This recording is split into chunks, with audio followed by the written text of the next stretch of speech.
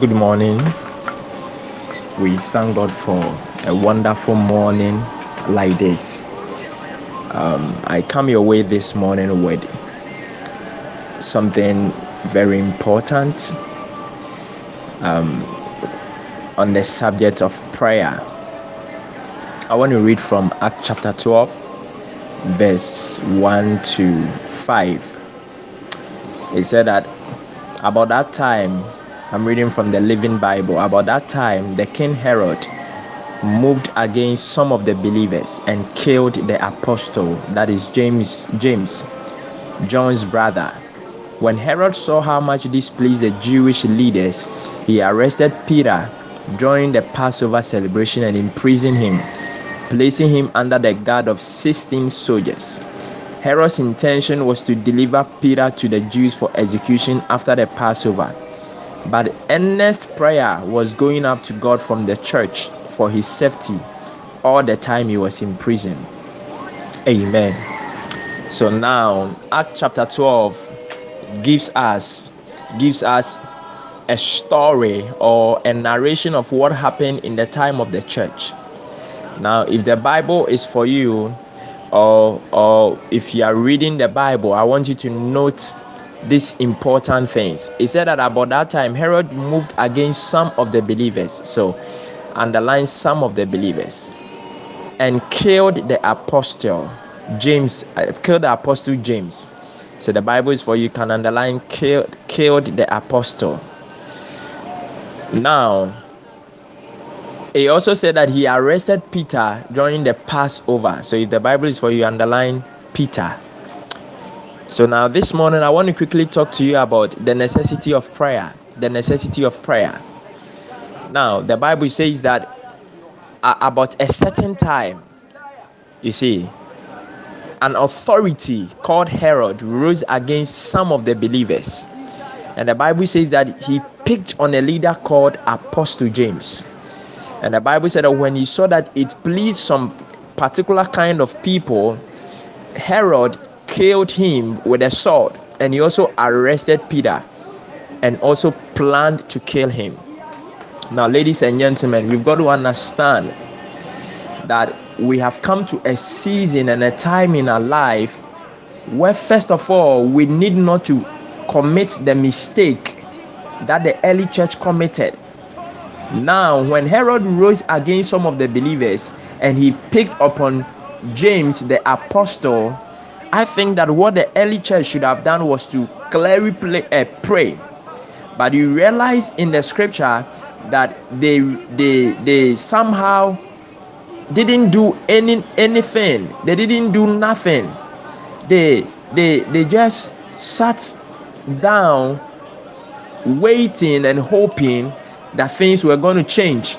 But the Bible says that James was killed. Now listen, there are some of you out there there are certain things that have rose against people around you. It could be certain afflictions. It could be certain difficulties that have gotten some people around you. It first started with the, with the believers went on to the apostle james. They got him executed. Then now it came to peter the apostle. Now the next thing we've got to understand is when you realize that certain things are going wrong among your friends certain things are going wrong among with people who before now were good people before now were happy before now they were they were they were kind before now they were easygoing and all of a sudden there is a sudden change in their life there is a sudden change in their behavior. You've got to get to prayer because ladies and gentlemen there is nothing that brings the hand of god in the situation of people or the hand of God in the circumstances of life but prayer. So the Bible says that they also arrested Peter. Now, Peter is a symbol of three things I want to talk about. First of all, Peter was a leader. So, one of the things we've got to understand, believers, or we've got to understand as people of God, is you see, if the devil wants to destroy your life, the first thing he will do is he will tackle the leaders over your life Now, when I'm talking about leaders, I'm talking about the fact that it could be in a family. If the devil want to destroy the family, he will come after your mom, he will come after your dad, he will come after the firstborn, he will come after the person who is the leader in the family. Because you see, there is a principle in scripture that you should strike the shepherd and you will scatter the flock or you scatter the sheep so, with this principle that the devil knows, anytime he want to destroy a family, he will just strike the shepherd. In other words, he will strike the mother and father, or the mother or father. All of a sudden, daddy, daddy be, becomes a, a, a drunkard. All of a sudden, that daddy becomes a bisomaniac. All of a sudden, daddy begins to daddy begins to spend a lot of time outside. All of a sudden, mommy mommy begins to get problems with daddy it's not ordinary, ladies and gentlemen, as far as there may be physical reasons for that. But when you see that as a child of God, you, you don't have to complain, you don't have to wait, waiting for things to get better, but you should just get into prayer because Peter is a symbol of a leader. The next thing about Peter is Peter is also a symbol of a symbol of uh, a symbol of Peter is also a symbol of a source of inspiration. Now, listen, the Bible says that Peter, before that, or before this time, was called Simeon. The Bible said that Jesus said that Simon, I'm going to change your name to Peter, which simply means a rock. So, Peter being called a rock was a source of inspiration a source of hope was a picture of a source of inspiration a source of hope a source of a source of a source of fortress that somebody could run to in times of help in time uh, in times of need in times where the person needs uh, some f- form of consolation. Now there are a lot of us we have a lot of people who inspire us. I want you to look around your life. Which people inspire you? It could be a particular friend it could be a particular pastor. It could be a particular a particular member of the family. It could be a particular person who has been in your life for so long a time.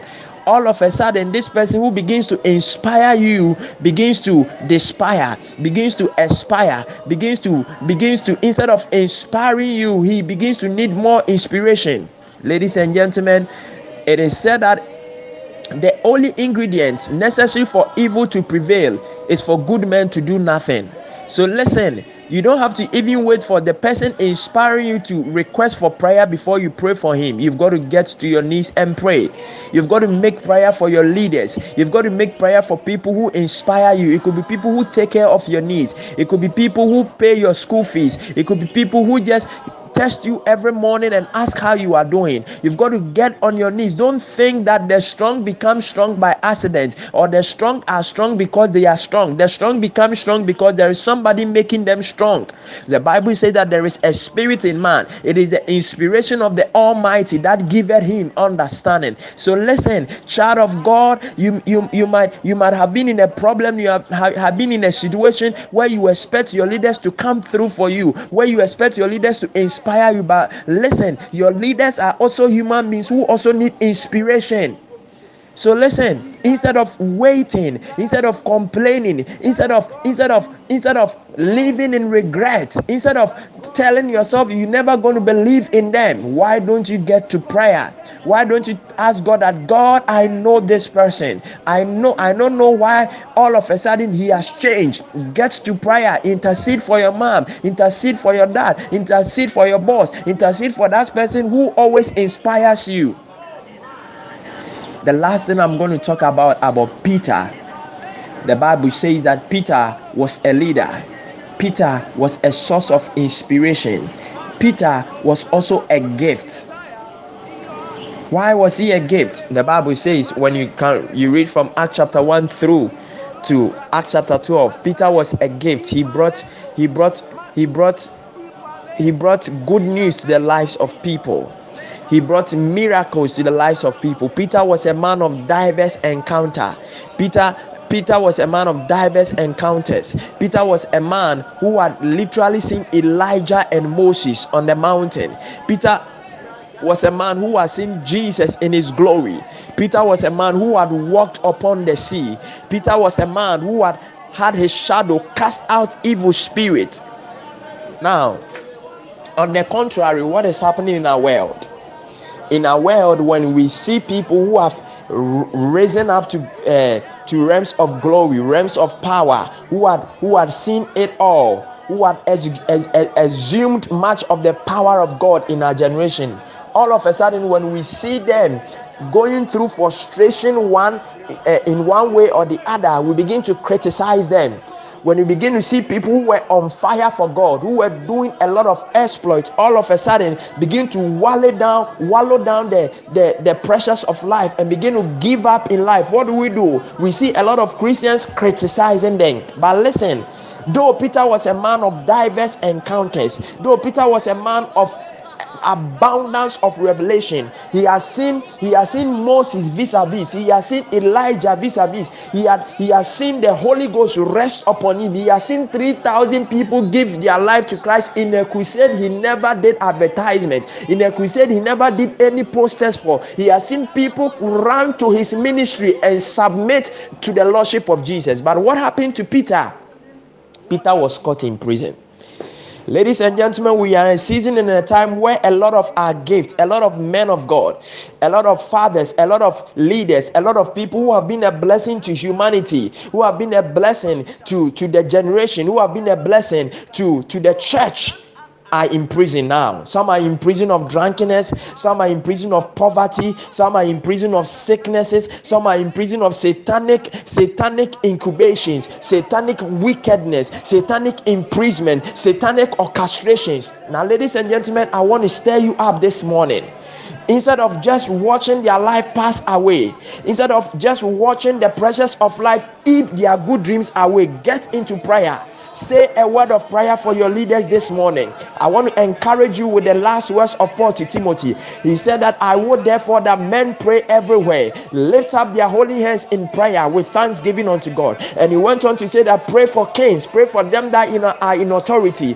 Why? Because he said that we may be able to live a peaceable life in all godliness. Hallelujah. So that means praying for leaders and authorities has a direct correlation on your life.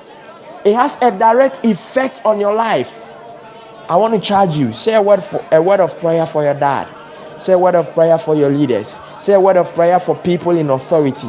Say a word of prayer for the nation. Say a word of prayer for them Command the protection of God over them. Command the hand of God over them. Come against satanic incubations. Come against satanic pregnancies. Come against satanic thoughts, satanic dreams. Come against them. Come against satanic sicknesses. Declare that it is well with their soul. Remember, God will never do anything on the earth until a man prays. If there is a man to pray, there is a God to answer, as said by Apostle Suleman. Keep on praying if prayer does not work for you, more prayer will work. Stay blessed and remember you will always win. God is with you. Never give up in life. Giving up is never an option. Jesus bless you. Amen.